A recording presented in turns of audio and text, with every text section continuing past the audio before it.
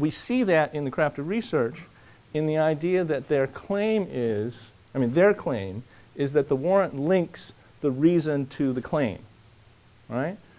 And what I'm saying is no, the warrant doesn't link the reason to the claim. The warrant li actually links the evidence to the claim, right? Remember the, the thing down there to the thing down here, right? So the, the warrant is linking the evidence to the claim, but it needs to do it through that arch, that arc, right? Going through that, that, that kind of a general rule, right? Uh, and it has to do all three pieces of that, right? Okay. Questions to this point? That make sense? No? Okay. No questions? All right, well, maybe I'll ask you a question. Um, um, so, just, to, just as, as, a sum up question, right? Um, um what is the main function of a warrant? Yes? It links to the evidence of the claim. Great. Okay? Um, and what does it have to do in order to link the evidence to the claim? It has to go through the reasoning, um, and there's three pieces of that. What are the three pieces of linking the evidence to the claim? Somebody else?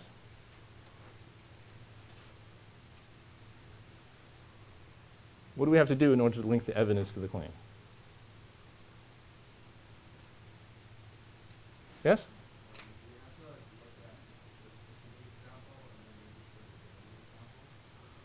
Okay, you have to look at the specific example and see how it's an example of, um, uh, of, of something general. Okay, good. That's the first thing. What's the second thing?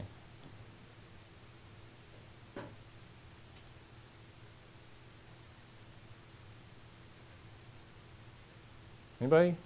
second thing? It was the it was the arrow going across on top, right? What's that arrow? Somebody? I'm sorry? Yes, okay. So you, you have one general thing that's going on, and you're saying that when it, that happens, then this other thing also happens. Right? So there's an implication of one general thing going to another general thing. Okay, good. And then what's the third piece?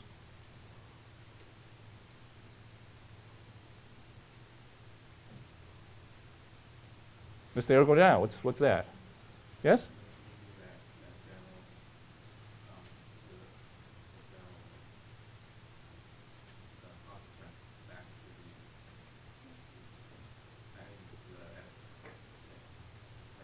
Okay, so you, you have to link back that general consequence back down to the claim. And what, what I'm also indicating here, and this is something I actually I, I, I didn't mention, is that that um, that claim that we have, the specific claim, is also something that happens in the world. Right? It's a specific thing. Right? So the mayor is involved in something crooked that's obviously a, a specific kind of event. Right? It's not something general. Right? So, so we're moving from a specific thing that happens in the world, a specific event, to another specific event. And we're saying that if we see this event, this other event must have happened as well right? And so those, both of the things on the bottom here are specific events, right, that you can point to, right? Okay, and we're getting, and we're, and we're, we're saying that when you see this one event, this other event also happens, right? Okay?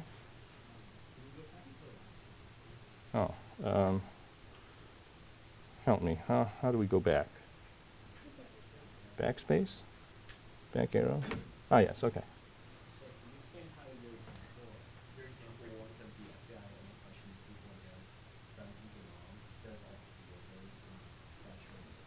Okay, so it's saying that when, when, you're, when the FBI has been questioning the mayor's staff, that's an example of a sign of crooked behavior, right? So that there's something, somebody, somebody's done something wrong, right?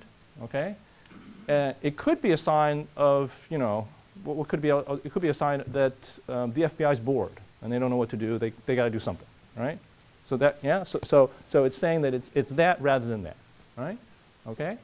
Um, it's also linking up to this because what, what it's saying is that the FBI questioning is also leading to this idea that there's somebody's done something wrong.